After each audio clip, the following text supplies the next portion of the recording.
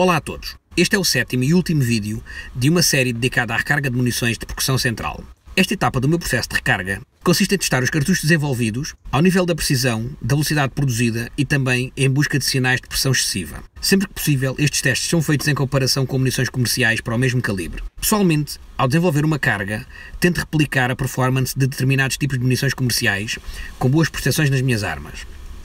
Para medir a velocidade dos disparos é necessário um cronógrafo. Apesar do preço algo elevado, esta é uma ferramenta de grande importância para quem recarrega munições. Existem vários modelos à venda, em várias gamas de preços, sendo que alguns apenas são adequados para armas de ar comprimido e airsoft. É fundamental usar um cronógrafo adequado a armas de fogo. Pessoalmente, usei durante muito tempo um cronógrafo Crony M1 e atualmente uso um Caldwell Precision Chronograph. Recomendo ambos os modelos. Em primeiro lugar, mece 5 munições recarregadas para verificar se a munição está dentro do esperado. As tabelas de recarga fornecem valores de referência para a carga de pólvora e peso da ponta. Se a velocidade for significativamente superior à indicada pelo fabricante, pode ser um indicador de pressão excessiva. Existem vários fatores que podem influenciar a velocidade do projétil, tais como o comprimento do cano, o coeficiente balístico, etc. Portanto, não devemos levar os valores da velocidade à letra. Ainda em relação à velocidade, é importante também certificarmos-nos que não há desvios muito grandes nos valores de velocidade de disparo para disparo. Também aqui é útil compararmos com medições equivalentes de munições de fábrica. Ainda em relação à medição da velocidade com recurso a cronógrafo, tenho que repetir a velha máxima de que só existem dois tipos de atirador: os que já destruíram o seu cronógrafo a tiro e os que ainda não o destruíram. No meu caso, pertence ao primeiro grupo. Depois de completados os testes de velocidade, recolho os casquilhos usados e procuro sinais de pressão excessiva, tais como maior recuo para o mesmo peso de pontas indica maior pressão. No entanto, isto não quer dizer que exista pressão excessiva. Este é o menos fiável dos indicadores de pressão elevada. Extração difícil. Este sim é um bom indicador de pressões excessivas.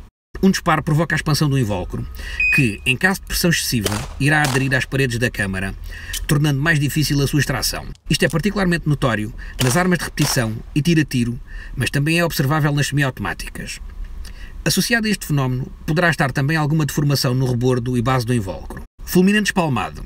Verifica-se quando a base do fulminante, após o disparo, deixa de ter o formato arredondado, ficando completamente espalmado. Este fenómeno varia bastante de acordo com a marca dos fulminantes e a arma onde estes são disparados, e por si só não é um bom indicador de pressão excessiva. Extrusão do fulminante.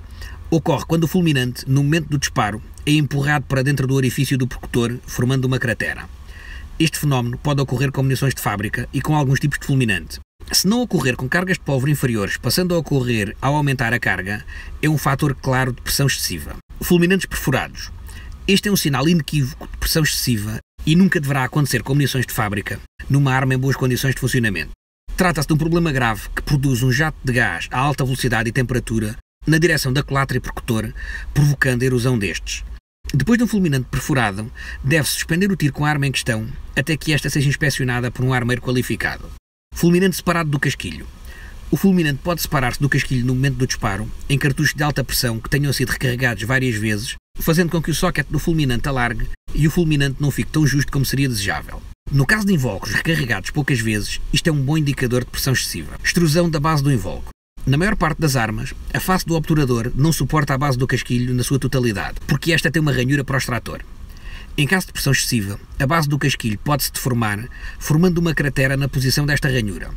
É importante terem atenção que existem casquilhos mais maleáveis que outros e comparar casquilhos recarregáveis com casquilhos de fábrica. Velocidade excessiva.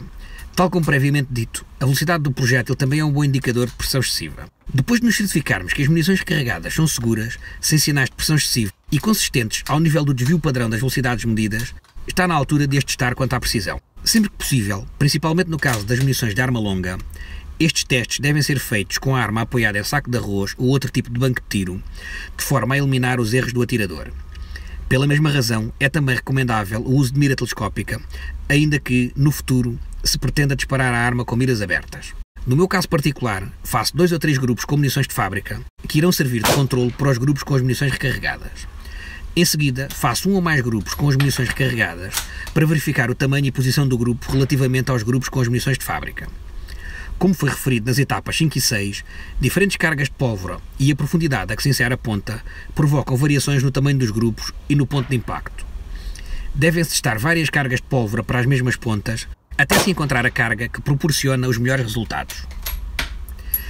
Depois de escolhida a melhor carga de pólvora, devem-se testar munições com diferentes comprimento total, ou AL, ou seja, instalando a ponta a maior ou menor profundidade no invólucro, o que irá fazer variar a forma como esta entra em contacto com as estrias. Pessoalmente, começo no comprimento máximo do cartucho, indicado na tabela de recarga, ou no folheto dos DAIs, fazendo conjuntos de 10 munições, cada um deles 0,1 mm abaixo do anterior.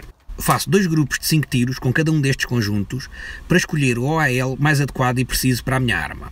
Quem pretende precisão máxima em bench rest terá que testar variações inferiores, na ordem das centésimas de milímetro. Está terminado o meu processo de testes e também o meu processo de recarga. Espero que tenham gostado deste tutorial. Se gostaram, por favor partilhem nas vossas redes sociais e cliquem no botão gosto. E lembrem-se, não se deixem apanhar.